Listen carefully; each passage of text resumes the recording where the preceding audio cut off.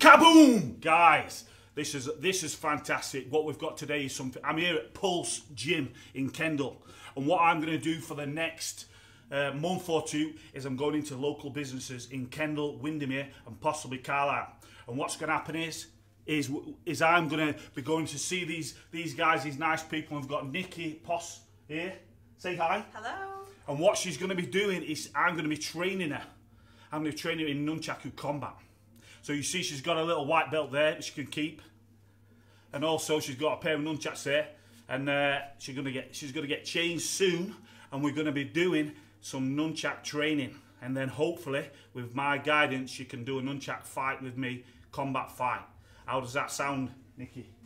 Great.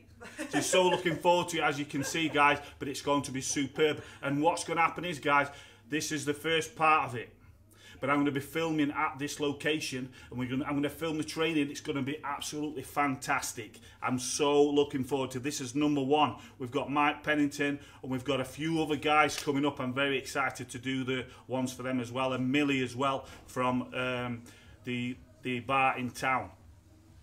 Okay, guys, so that's what's going to happen.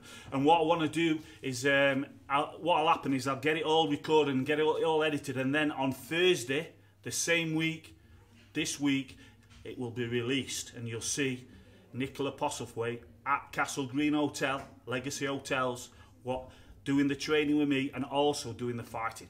So guys, thank you very much and thank you for your patience. Don't forget to like, share and subscribe because this is going to be on YouTube. It's going to be fantastic, guys. Remember to share it everybody around Kendal and Windermere because we know that uh, uh, Nikki Posse is very very well known and she's awesome and she's such a nice lady and I'm going to train her hopefully to fight me. So guys, you take care and we'll see you soon in a bit.